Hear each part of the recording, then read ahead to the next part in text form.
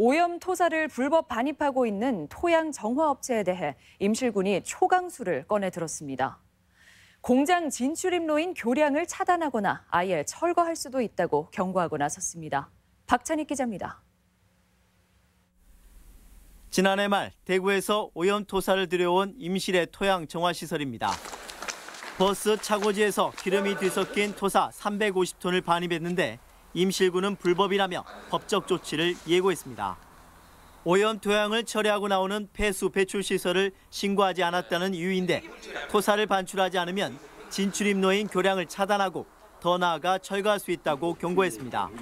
완전히 한 2m 높이로 해갖고 덤프차가 못 들어가게 바리케이트를 딱 쳐보려고 합니다 지금요 열쇠를 잠가버리고요 교량은 안전등급 D등급으로 20톤 이상 화물차는 운행을 제한하겠다는 것입니다. 3월 말까지 시한을 줬지만 사실상 시설 운영을 막겠다는 뜻입니다. 토양을 경작을 합니다.